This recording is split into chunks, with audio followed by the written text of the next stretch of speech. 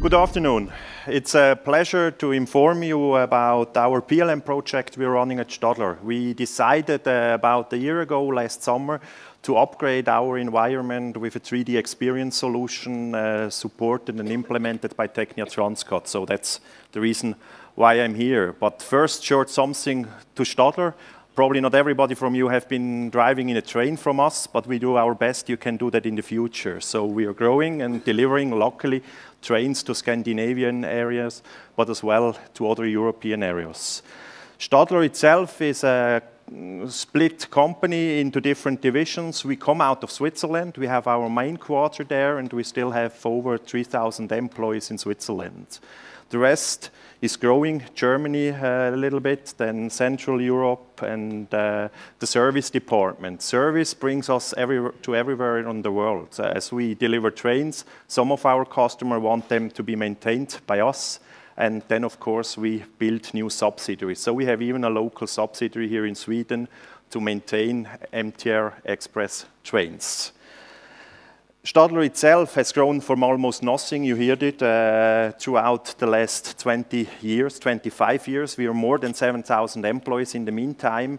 We did that mainly through uh, internal growth, but also by a few acquisitions. If we look at the turnover, we are, in the meantime, over 2 billion uh, Swiss francs turnover and had just an order entry last year of about 4 billions. So there is potential room to grow further, and I think this uh, makes the company exciting, but uh, brings some challenges. Before we look at that, uh, there are different types of trains. We hear this morning subways or taxis. What is better to be? We are clearly on railways and equipment which runs on tracks, from LRV, smaller commuter-driven uh, trains, uh, to the bigger and the more higher capacity trains, which uh, bring passengers from cities to cities, or at least into the city centers and other locations.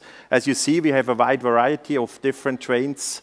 Uh, we sold more than 7,000 trains uh, throughout our time, uh, which is quite amazing. Gives us also a chance to grow with service, renovation of these existing trains, and modifying. By looking at these few product lines we do have, it seems rather easy to keep that aligned and synchronized. It's not that easy. Even we have 1,400 flirts sold. Average project size is about 10 trains. And then you not only change the color or the seat, you really do everything differently. We talk about that in a few minutes. But this means we highly customized, uh, we really listen to our customer, and we try to provide a small company which needs one or two trains as well, the best possible solution as a bigger operator like NSB in Norway, which uh, has close to 100 trains now from us operating, and uh, they still have to stay the same or stick together. Now, what brought us to PLM approach? Uh, probably other companies are stuck in these challenges as well. Uh, we have short product cycles or development cycles. Means negotiations rather take long. Finally, a lot of train purchases are financed by governments or uh, local authorities areas, and until they decide uh, the right politicians are in place or gone, this takes some while. And then you have to deliver something within their period of time so they can present something before the next election states. And to do so, uh, we have to keep our timelines. This means we work in parallel still on engineering, purchasing already material, and even welding, gluing uh, some stuff already on the shop floor. So we have a highly overlapping uh, setting, which uh, is difficult to achieve when you have not the right tools in place. The second one is we get more and more regulation bodies which want to see paper even we are in a digital world.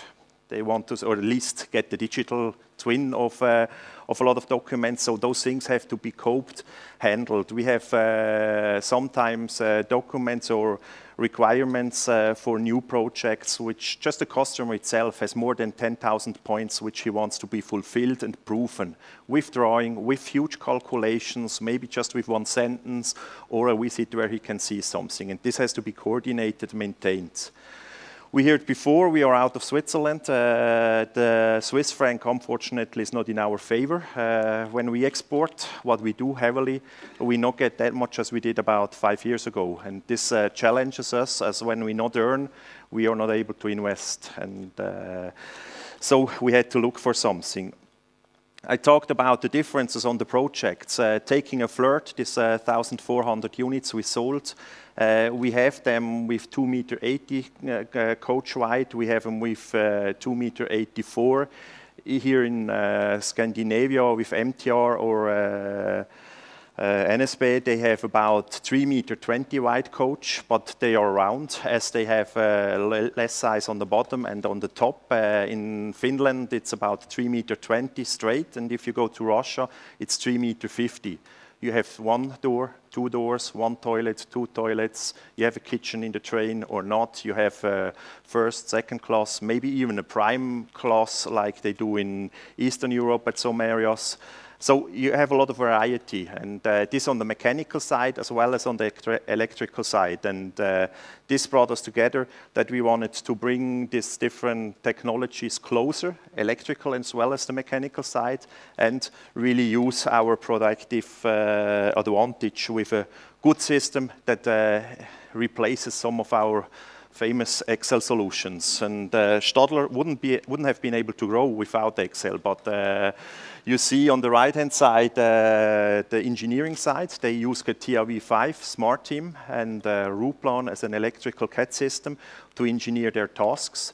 On the lower left-hand side, we have the ERP. Those are the guys which have then to order what the engineering tells them they should order, and finally coordinate the production that they are able to assemble everything together as it is planned. And between those two islands, we have a lot of manual processes like initiating orders, what material we have to order. Even we have not engineered it yet, but we know we need that amount of aluminium or a lot of other things. And uh, keeping control of changes, uh, also uh, fulfilling documentation purposes is difficult in such a landscape. So we discussed and tried to align processes, what we want to do and work with. And uh, it, it, came out that uh, this alignment is good if you have from requirements to engineering to production, everything aligned and keep a track on, on what you do and what is the configuration.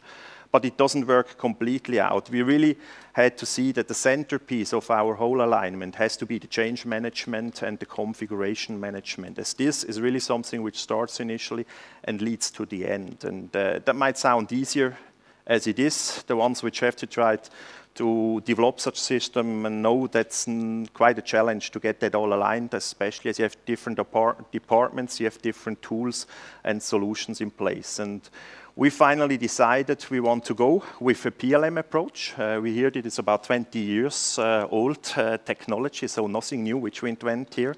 But uh, we, we want to go that way. We want uh, to use it. Uh, we want to collaborate. Uh, you saw the growth.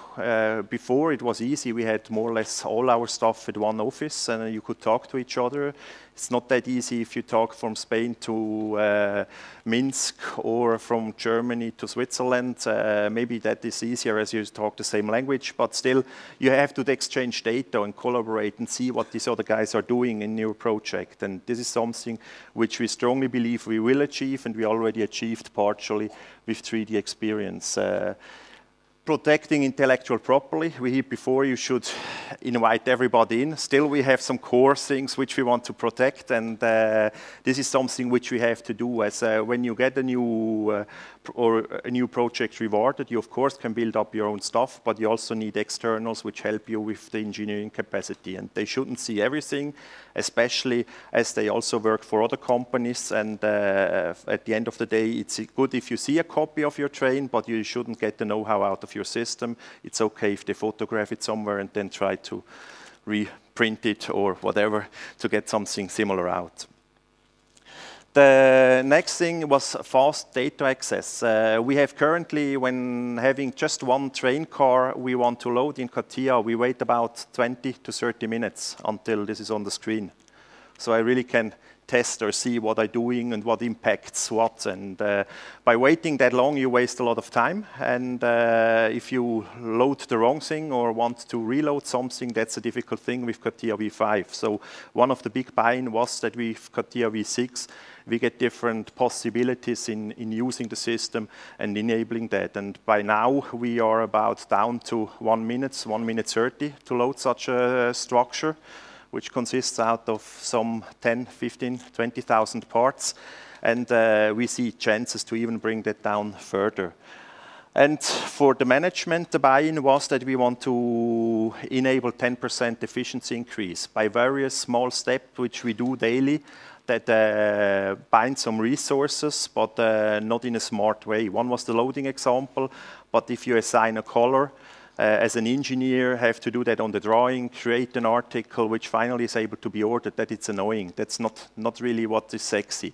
You, you have your 3D piece and that works, and if you have to do, you do a drawing of it. That's sufficient.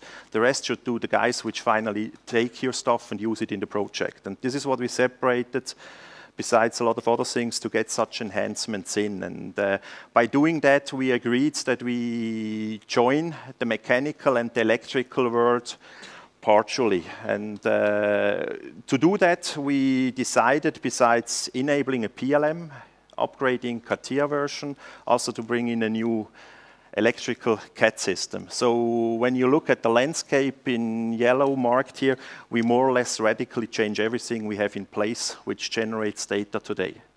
This is a big step.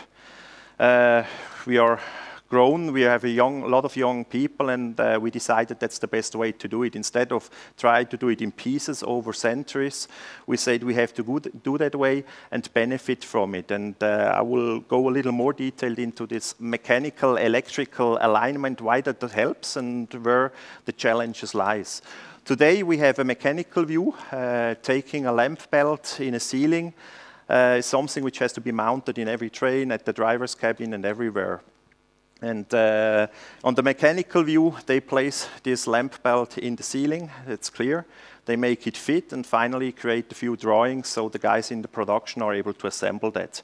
Now the electrical has a different view at this lamp belt as he has some requirements regarding what luminization you have to provide, uh, what voltage you have in your train, maybe the supplier or the, the customer wants some specific lamp type as he already has that in, on stock or some fancy LED uh, thing which you can play around and uh, that you get that uh, in and aligned we have different worlds. The mechanical talk about the ceiling, the electrical talk about the lightning. So we have uh, the same fun, no, not the same function, but we have the same stuff used. And if they change so short on short notice something, that's going to be an issue which finally leads to a change. And uh, to overcome that, we said they have to rely on the same database. To do so, uh, one-to-one alignment, or the one-one relation is, was introduced. So we have a strict coupling between 3D model, drawing, and the parts. There are no metadata, there are no numbers, no naming, nothing which is different. So unfortunately, that's not state of the art in the platform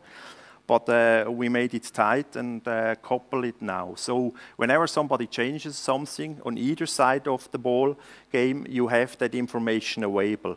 Also, we said we want a digital mock-up of everything and not just copy parts and change them a little bit and then reuse them. If needed, we do drawings, but not anymore. We want our guys in the shop floor to look at the 3D models especially when doing small numbers of train, it's more, much more efficient if you not have uh, weeks, hours, uh, or even years uh, engineering spending on doing some drawing that finally somebody can assemble something. If you have a, whole digital mock-up, you can look at that and reuse it at every point of time. And uh, this is what we do to 3DEXPERIENCE. Uh, we have the mechanical guys, which use their mechanical parts. We have the electrical guys, which use out of the same database their electrical parts. And we have these joint parts, which are like a lamp belt or a sensor for an air condition or whatever uh, available on both systems. And they, those two things we synchronize through PLM, so in ERP we only see one truth. That's what we want. And uh, how we achieve that, uh, you have two anchor points. One is on the mechanical side, the, the functional scope, where we design a braking system or uh, air condition, uh, integrate the door, integrate the passenger information system, all that kind of thing we anchor in a functional scope which identifies its function of the system. On the electrical side, we do have as well a functional, uh, functional scope. We ignored that one when getting the bill of material synchronized to the PLM system, where we, we anchor that at the, at the installation spots. Because at the end of the day, whenever I screw something into the ceiling, it's still mounted in the ceiling. No matter what source it has, it, it will end in the ceiling, otherwise I have a problem when delivering the train. And by having these two anchor points, we finally said we have to align them. And uh, that's what we did, is uh, we rearranged the BOM we have from CATIA so it fits into the location purposes or into the location spots. And this we do by just linking, drag and drop, uh, these structures, assemblies into a second resolution which we look at. And uh, on this uh, resolution, actually, we will then compare the BOMs and the parts numbers, quantities between the mechanical electrical world. Identify where we use more or less or even different things than what it's supposed to be. And by identifying those things, we can clean them up before transferring the structure out of this installation-oriented focus into the ERP. And this helps us to reduce faults, be much faster, and uh, enable a simple transfer. Looking at it in a, in a written way, as you see behind me, we have the chance that the mechanics are first or the electrics. Normally, not both departments are aligned. That's, uh, I think, uh, daily, daily behavior on, on any engineering departments which do have both. When the electrical are first, which they presumably are, at least they state that they do, uh, they release certain stuff or would at least trigger that uh, you can already purchase your uh, lamp belt. You not have to wait till the integration on the mechanical side is done properly. And uh, by having that sequentially done, you have to wait until both informations are aligned. In our case, we could use the left hand, or from your side, the right hand side uh, BOM order these three parts, uh, electrical parts complete, and the first, which is an electrical mechanical part uh, as well. Now, when getting the mechanical BOM finished, we resolve that, find them, and will reduce then the BOM quantities on one side according to a special algorithm, so we not duplicate our quantities in the ERP. But we reuse what we already had, and we're able to generate a much earlier trigger to the ERP for purchasing those things. And uh, at the end of the day, this helps us to align those two disciplines and uh, even benefit on our hard schedule.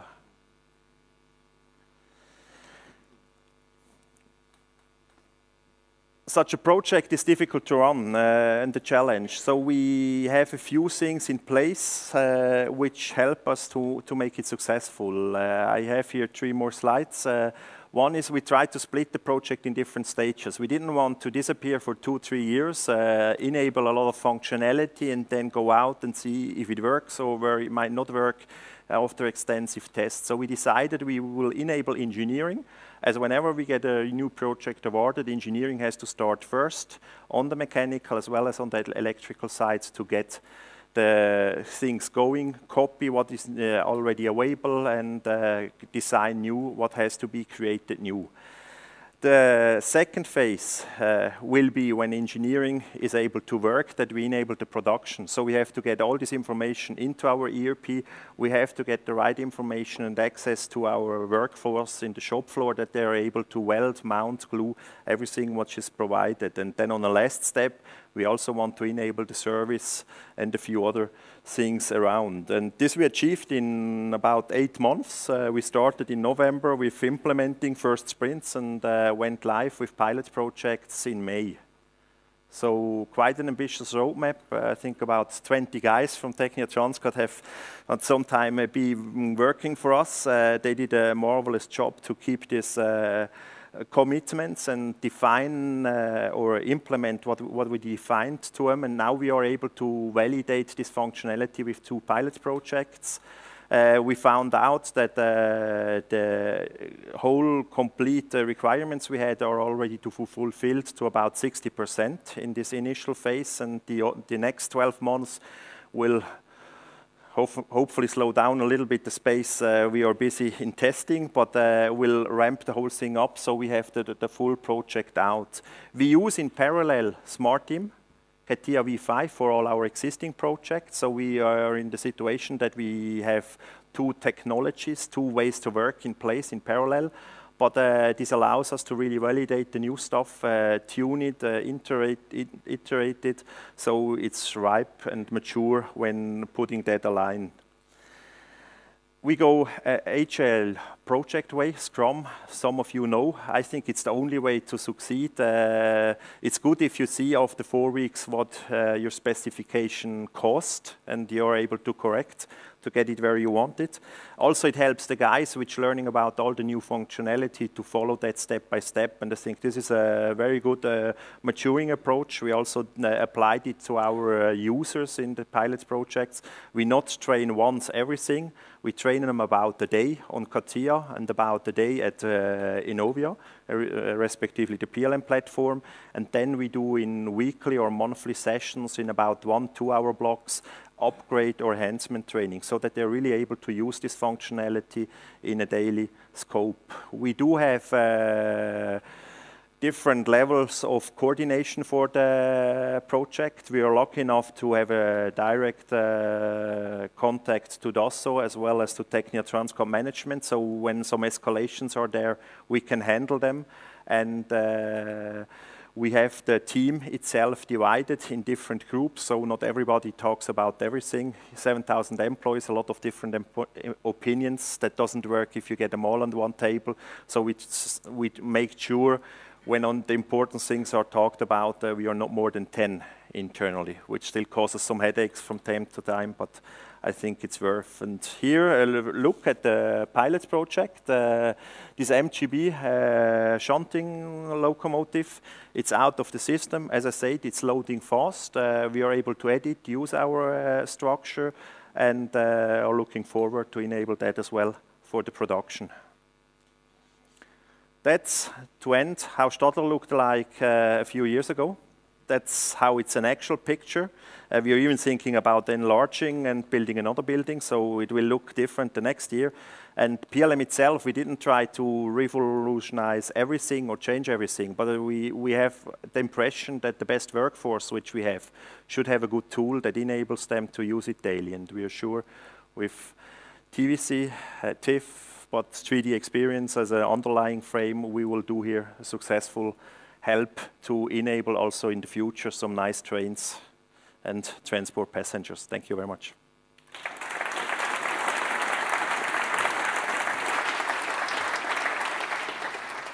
Thank you, Roland. That was a 3DEXPERIENCE from a customer perspective. Very interesting, I must say. And uh, uh, please, if you have any questions, you know how to do it. You can also raise your hands. Yes. Uh, we have a microphone here maybe. Or I repeat the question. Please tell us.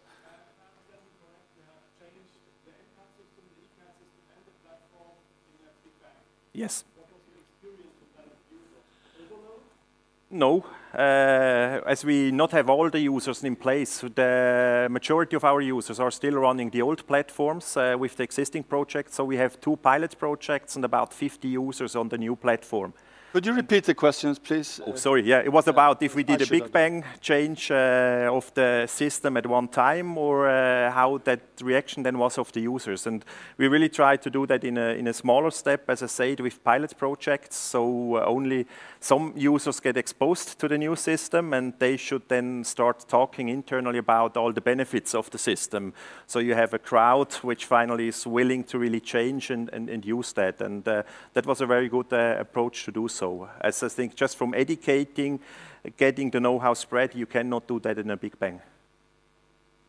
We also have another question up here. Here, right? Yeah. Did I understand correctly that you still use uh, smart team from uh, Dassault's uh, competitor? Did you not consider to change over to Dassault's uh, platform for 100%? Uh, I mean, we use Smart Team uh, right now as a PDM system, a legacy system, which we will replace. Uh, and uh, we therefore think have the right decision by staying here. Okay, a, more broad question for me then. Uh, we were listening to Honeywell Turbo this uh, morning, and they talked about the key to make the employers really understand and to use the system and also to use them smart. You, touched upon this a little bit. Could you elaborate a little bit about that? What's your view on the keys here? The key is that you bring uh, an engineer as close as possible into the system. This is by individualizing his structural view. So you saw it before on the electrical and mechanical side. We, we really allow the, uh, the mechanical guy to work in his way, in his mindset, in his thinking by being on this functional scope. And uh, this helps him that he is, uh, first of all, not has to change everything, but still feels uh, safe in orienting and, and, and collecting the data. And uh, the other discipline, the electrical guys, are also in, in their scope, and then actually the system does the transition or the language exchange uh, practically between the disciplines. And I think that helps tremendously to get the people into the system.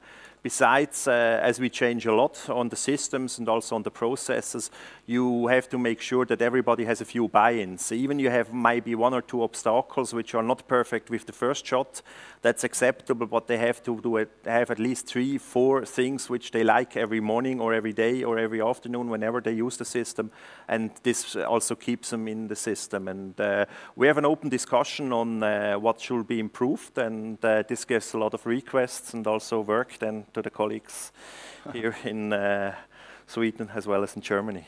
Okay, Jonas is laughing and he has the microphone. Yeah. Maybe, uh, yeah, thanks for helping us to improve, Roland. You're doing a great job there. Just a comment on, on your remark there, obviously, Smart Team is uh, previous generation Dassault platform. So we are migrating from an earlier generation Dassault to a newer. But it's a great uh, kind of uh, example of where we take you from uh, a bit uh, older technology to, to the fresh technology. Yeah. So it's not a competing system, Smart Team. Yes, uh, question over there as well. Thank you. Um, What process is in place to uh, get feedback from uh, the depots, from the from the workshops? So do you design to better maintain?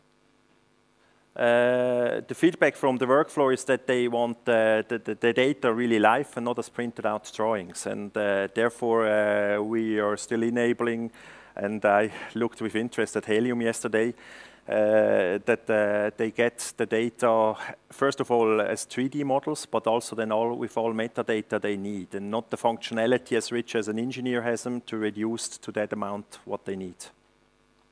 You do get feedback from the field and you will Yes. change the design. I mean, we have weekly meetings with some of our key users from on the CATIA side as well as on the PLM side and from the shop floor purchasing, even down to logistics, and uh, seeing that to arrange it and get them the best view out of it. So it's a little bit like Christmas for those guys right now.